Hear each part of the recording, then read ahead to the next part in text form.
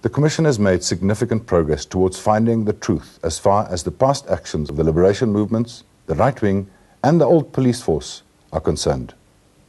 But the former defense force, especially sinister structures such as special forces, military intelligence, the Department of Covert Collection, and the Civil Cooperation Bureau, have not been forthcoming. We know little more about their role in our past than we did three years ago.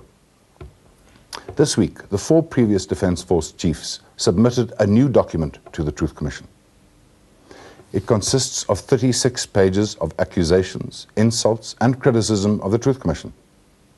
Instead of explaining their role in the past, the generals beat the Rooi Gevaar drum, accuse the liberation movements of human rights violations, and on top of it, demand an apology from the Truth Commission. We asked the Deputy Chairperson of the Truth Commission, Dr. Alex Boraine, to respond. He either didn't read it properly, or Alex Boraine is a very forgiving Christian.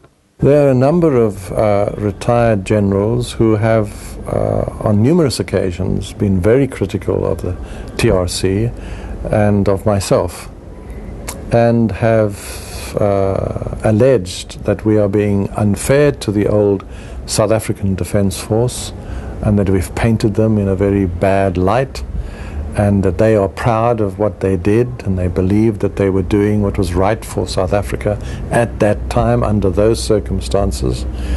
And they feel so strongly about it that they now have gone to the, uh, made a submission to the public protector.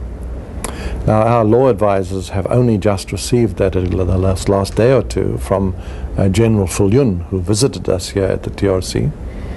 Uh, we're studying that. Uh, I'm quite sure the public protector will contact us once he and his staff have gone through it, and they will then ask us to reply to the allegations.